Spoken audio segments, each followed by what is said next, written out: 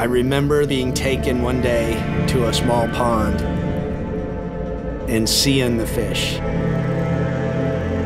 And when I looked through the water and saw the fish living below, it just captured my imagination. And I've spent the rest of my life trying to get those same fish ever since.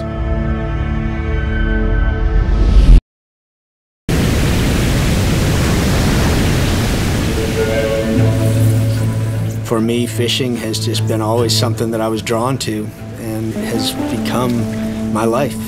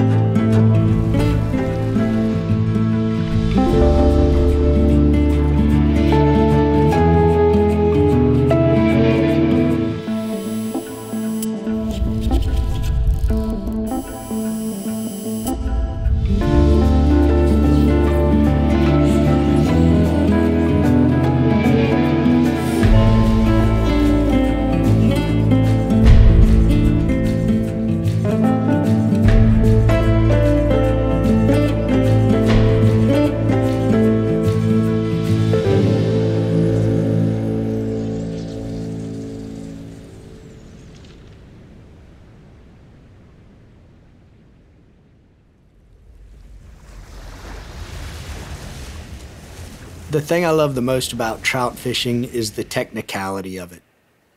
They are such a fussy little fish. When they lock onto a particular insect in a particular life cycle of that insect, they're almost impossible to reproduce, and they won't look at anything else.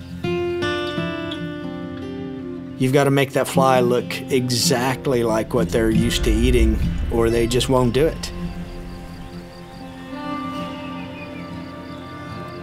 You need a delicate presentation, you need fine control of your drift, and the suppleness and the feel of the bamboo rod is ideal for that. When you look at an old bamboo rod that someone held a hundred years ago and you can see the marks and the dents in the varnish and the, the fish slime rubbed into the cork, uh, it tells a story, and it tells a story better than any synthetic material could ever do.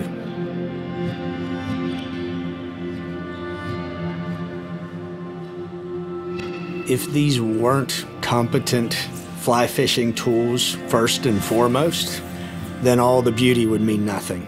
So that's how we design them to be used and to work well for the angler. And if we can make them look nice too, we will.